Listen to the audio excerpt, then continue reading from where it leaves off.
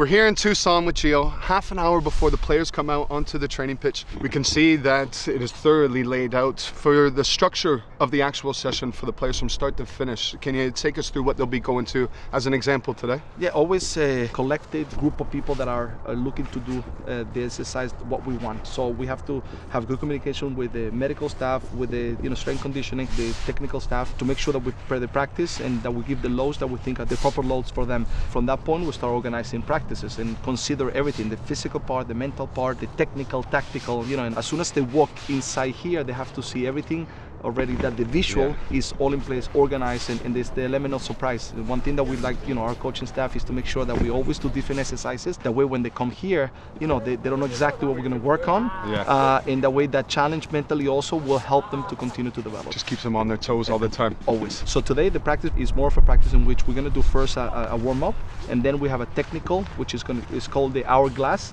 Uh, this is everybody involved. It's a lot of mobility, a lot of combinations, and then from there we're going to go into this uh, possession game with goals uh, in which is going to be 12 against 12 with eight against eight, four bumpers, and then from there we finish 11 v 11. Already more tactical things with and without the ball, preparing already the team for tomorrow. You touched on it with the coaches. Everybody's involved. The choreography of your training session is fascinating. It's like one big dance going on. How important is that to make sure that the flow of the training session is right? it's very important because the players need to make sure that they do a, a- a very specific workout in the amount of time that we want that is sharp and we need everybody to be involved even from the moments that they drink water you know the guys that come in right away the rest periods the, the, the way we want them to work we want them to be sharp quick do the exercises the right way and uh, it takes a lot of planning and especially a lot of execution as you said in a choreography type of way you know How much during the session are you monitoring the players as well? Their performances? Are they are they playing well enough? Uh, are some players a little bit off it physically? Are, are they at it, or do they need to be